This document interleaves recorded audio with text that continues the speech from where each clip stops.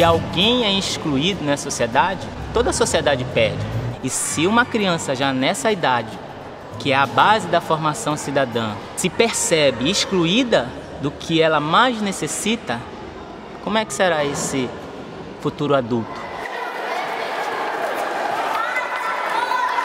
Eu acredito que o pontapé inicial para a questão da inclusão acontecer efetivamente na escola como um todo, ela teria que partir da questão prática, é a minha prática pedagógica, que incluísse os alunos, né, todos, independente da deficiência ou independente até da sua forma de ser, para que esses meninos comecem a, a ter mais interesse, ter mais motivação. O se alimentar para a criança é tão importante quanto brincar. São demandas, são necessidades humanas no mesmo nível. Então, quando o, o professor sinalizou o desejo de fazer o mini atletismo, teve um momento que o nosso AE passou a ser o AE semelhante às aulas de educação física. Então, por algumas semanas antes de acontecer o projeto em si na quadra, nós fizemos essas marcações na sala, nós trabalhamos algumas, alguns movimentos de saltar, de lançar, né, de correr com os meninos aqui, para mostrar o quanto era legal, o quanto era divertido e o quanto eles podiam fazer. Tem um esporte que aponta para o treinamento desportivo e tem um esporte, uma atividade física, lúdica, que aponta né, para a inclusão como principal foco, mas sim na escola a participação, o viver.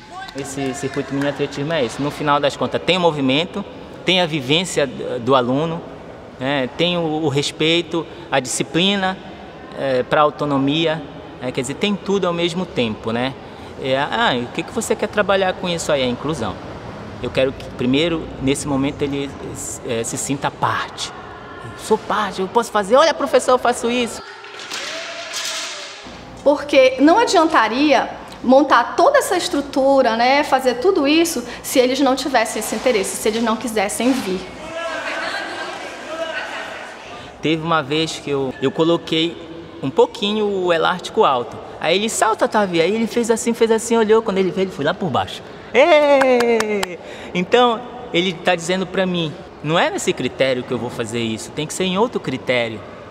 Então eu tenho que tomar a iniciativa que eu sou professor. Se eu me fechar no movimento técnico, nesse momento, na base, eu, eu inviabilizo os momentos posteriores, porque aquela criança vai ficar traumatizada. Não, só pode se pular por cima, só pode se pular por cima. Aí eu perdi esse talento, esse cidadão. A atividade da quadra era legal e importante também, porque às vezes os pais trazem eles para a aula, né? Mas essa atividade assim, eles, ah, não vou levar, não dá. No dia que nós apresentamos essa, essa atividades com eles brincando e tudo, eu, eu acho assim que foi para mim foi o ponto mais importante do trabalho do AE nesse projeto. Foi ouvir dos pais o quanto eles se sentiam preconceituosos em relação aos filhos e que vendo eles fazendo as atividades, eles passaram a acreditar que eles tinham potencial, que era possível eles estarem brincando e se divertindo junto com os colegas, né, sem ter aquela, é, aquela, aquele rótulo de ah, aquele ali é o aluno com deficiência. Não, eles poderiam brincar livremente com, com os demais.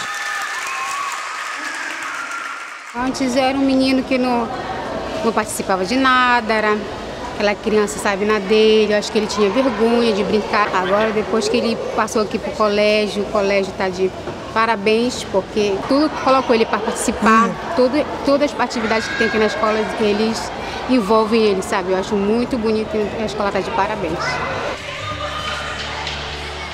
Quem foi sempre discriminado e excluído tem pressa de ser acolhido e incluído.